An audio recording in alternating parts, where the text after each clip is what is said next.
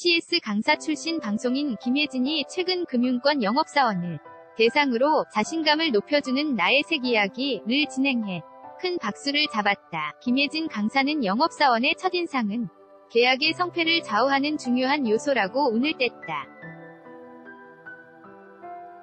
사람들은 매우 짧은 시간 안에 상대의 이미지를 판단할 수 있기 때문에 처음 본 순간 좋은 이미지를 어필하기 위해서는 좋은 첫인상을 각인시키는 것이 중요하다고 전해.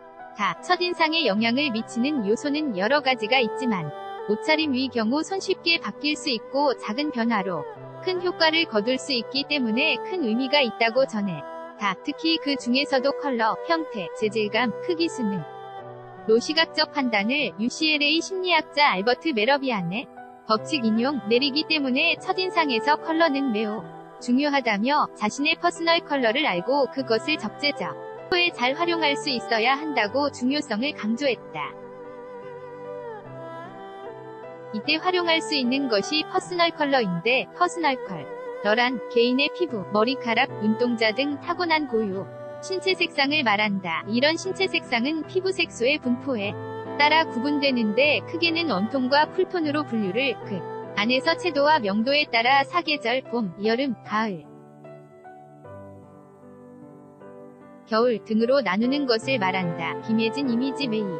킹스타 강사는 이런 체계를 바탕으로 자신을 더욱 돋보이게 만들어주는 색을 찾는 것이 바로 컬러 진단이.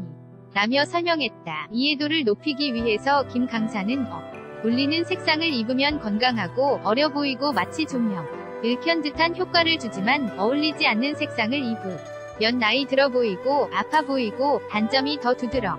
져 보이는 현상을 초래한다. 면서 직접 진단을 통해 시. 연해 보였다. 이날 현장에서는 놀라움과 감탄사가 연발해. 다 이유인 기자 JARRJ 꼴뱅이 TVR이 PORT.co.k 아르. 사진 등 권영찬닷컴 카피라이츠 TV 리포트. 무단 전제 제